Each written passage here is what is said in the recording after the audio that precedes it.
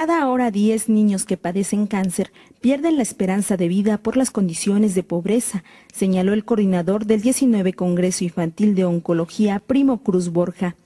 En su intervención destacó el número de niños que padecen cáncer en el país. En el mundo está calculado que enferman de cáncer cada año más de 160 mil niños, tampoco sabemos cuántos. Esto representa 20 casos nuevos cada hora de los que el 80% serán diagnosticados en países de los que se denominan no desarrollados y que en la mayoría de dichos países al menos la mitad de esos niños fallecerán. Es decir, en algún lugar del mundo, cada hora, 10 niños perderán del cáncer la esperanza de vivir. En este contexto, dio a conocer que en Michoacán hace 20 años la tasa de mortalidad alcanzaba el 80%, sin embargo, actualmente alcanza el 60% todavía por debajo de la media nacional.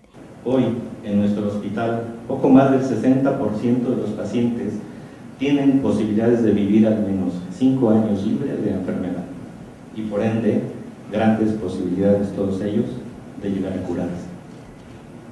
En otras instituciones de atención al cáncer en la infancia y la adolescencia en la República Mexicana, esta cifra se ubica por encima ya del 70%.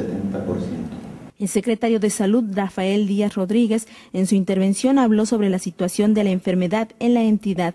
Por los objetivos que se ha trazado este evento académico y científico, se espera que participen como ponentes y o como asistentes oncólogos, hematólogos, pediatras, enfermeras, psicólogos, trabajadores, trabajadoras sociales, médicos generales, cuyo quehacer se relaciona con la atención del niño con cáncer. Por todo ello, es motivo de satisfacción dirigirme a ustedes y compartirles la emoción de que Morelia sea la sede de un evento de esta magnitud y de esta calidad. Asimismo, inauguró el encuentro. Me es muy grato declarar formalmente inaugurado este décimo noveno Congreso Internacional de Oncología y Hematología Pediátrica. Enhorabuena, muchas gracias.